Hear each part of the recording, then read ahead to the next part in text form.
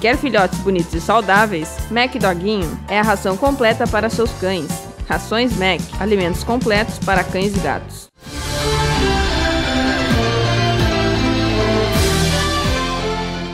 Nesta terça-feira, 8 de agosto, produtores rurais de TAPES aderiram às manifestações que ocorrem em diversas rodovias do estado.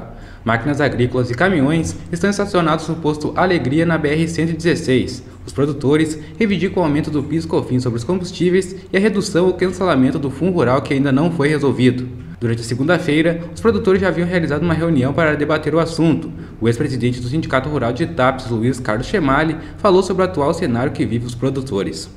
Ah, o que tem acontecido, que é muito grave, é a política do governo federal empurrando a agricultura para o buraco, ou por fundo rural, ou por dívida, ou por uma série de outras coisas, de, de identificação de outras coisas, né?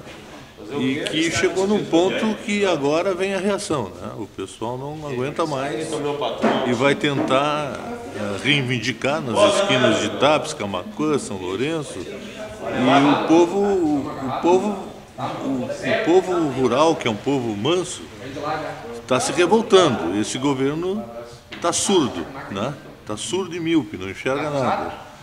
Tem os deputados que tentam fazer alguma coisa sem êxito porque eles estão sem força, né? e um Congresso parado, né? Então nós temos que ir à luta ou lobear alguma coisa. Nossa, a coisa ficou grave, grave demais. A sustentação ficou prejudicada.